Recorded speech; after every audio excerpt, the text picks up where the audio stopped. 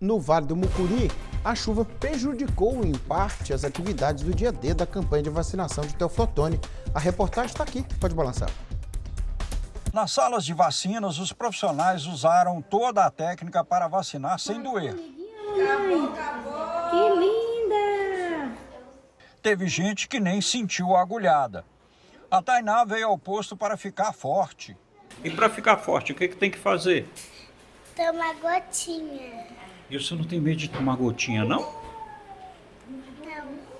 Com o cartão em dia, voltou para casa após receber os elogios da enfermeira. Nesta outra unidade de saúde, o movimento ficou prejudicado pela chuva.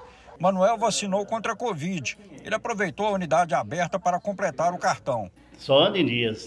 É? Toda vez que tem vacinação, eu estou aqui é, participando. Segundo a enfermeira, o baixo movimento é por conta do trabalho de rotina de pesquisa dos cartões de imunização de clientes. Por conta da chuva, né? Hoje está um dia, desde ontem, da madrugada, está um dia chuvoso. E também do trabalho que a gente vem desenvolvendo ao longo do ano, né? A campanha começou no dia 4 e vai até o dia 29, mas nosso trabalho começa bem antes, né? A gente faz esse trabalho, já tivemos duas campanhas esse ano, então cartão de vacina tá, sempre é verificado pela equipe, então também se dá por isso, né? Coordenadora de imunização Aglid diz que a campanha terá continuidade até final do mês.